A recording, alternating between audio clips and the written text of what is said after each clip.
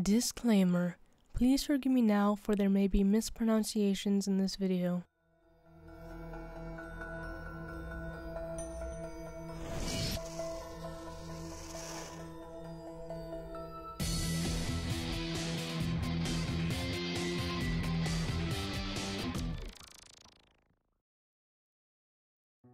In the region of Schaumburg, Germany, there are werewolves called the Boxenwolves. It is believed that they have made a pact with Satan that allows them to achieve the transformation into wolves by the act of buckling a diabolical strap about their waist. Boxenwolves are noted for their cunning and great delight they receive for tormenting people. If one suspects an individual of being leagued with Satan, a secret Boxenwolf, his or her true identity can be revealed by holding a piece of steel over them. Once in their wolfish form, they gain superhuman strength. The Boxenwolves are nightmares to travelers. One evening, the werewolf came across two peasants carrying bags of flour. They were returning home from a mill not too far from Rinteln. The Boxenwolf showed up and confronted one of them. The peasant immediately cried out for help to his companion. His companion threw his bag to the side and beat the Boxenwolf with his walking stick. The injured werewolf turned and ran away. The next day, the two peasants visited another peasant they knew of whom they suspected was the annoying Boxenwolf, because he was mysteriously wealthy and no one knew where the source of his riches came from. The suspect was laying in bed, deathly ill due to his previous injuries. He had the surgeon come in and bind his wounds, thus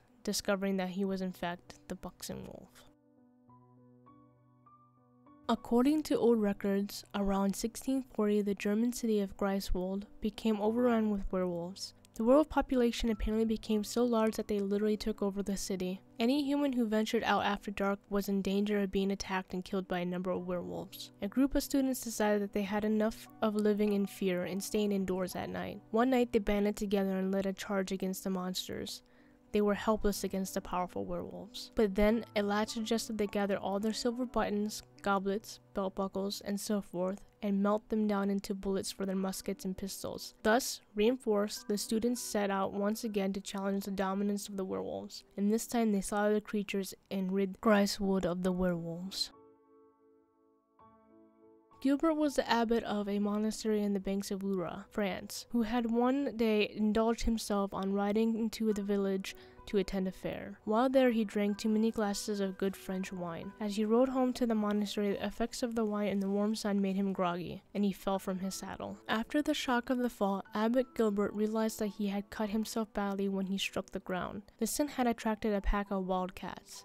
As they began to surround him, he crossed himself and awaited his demise. Just as the moment seemed at its darkest, a ferocious werewolf appeared and attacked the cats with his flashing fangs and savage claws. The creatures were driven off, but the werewolf received a number of bloody wounds. Gilbert did not dare approach the werewolf for fear the monster might turn on him, so he managed to get back into the saddle and spur his horse back to the monastery. The werewolf followed him right up to a waiting group of monks who eagerly dressed the beast's wounds after they heard of Abbot Gilbert's frightening encounter and daring escape. The next morning, Gilbert and his fellow monks were astonished to see the werewolf had resumed its normal human shape, and that it was a person of very well-known high-ranking official of the church. Then, to Gilbert's humiliation, the dignitary proceeded to give a severe tongue lashing for having himself wine that day. The werewolf ordered the abbot to do such a harsh penance that he resigned his position and left the monastery.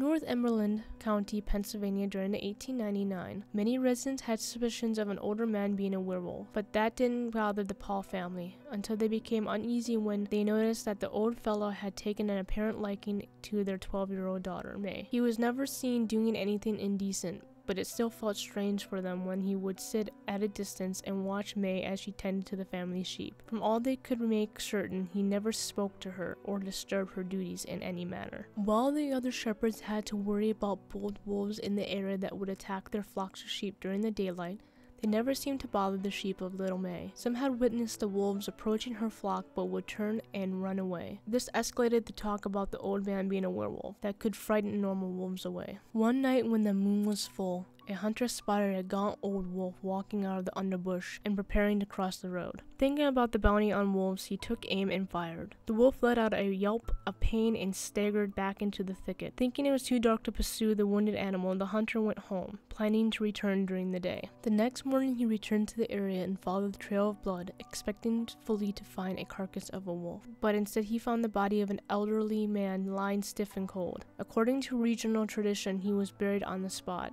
which became known as the wolf man's grave. May Paul continued to tend her family's flocks of sheep for the next 25 years. Although wolves and other predators continued to harass the flocks of neighbors' farmers, May's sheep were never troubled. She claimed the spirit of the werewolf protector still watched over her and drove away the beasts. Ancient Greek historian Herodotus devoted much study in separating myth from fact, including the tales of shamanic practices of the Neuri tribe of Scythia, which is a part of eastern Poland today. Around 450 BC, he reported that the Neuri are sorcerers and that each Neurian changes himself for a couple of days once a year into a form of a wolf. He is not speaking singular when mentioning this tribe but of the entire tribe itself. Four centuries later, around 43 AD, the Roman geographer Pomponius Mela verified Herodotus' story by saying, There is a fixed time for each Neurian at which they change, if they like, into wolves, and back again into their former condition. If they like, shows that the Neurians were not cursed or under a spell, but could change themselves at certain times of the year upon whim. Herodotus didn't believe in these transformations and found them impossible, but couldn't deny the seriousness of the belief that both neighboring tribes of Scythians and Greeks were living there. What do you think? Did you like this video? Want to support this channel? Feel free to check out my Patreon page where I create content on cryptids, hauntings, serious killers, alien abductions, and much more. Can support me there? Like, comment, and subscribe here.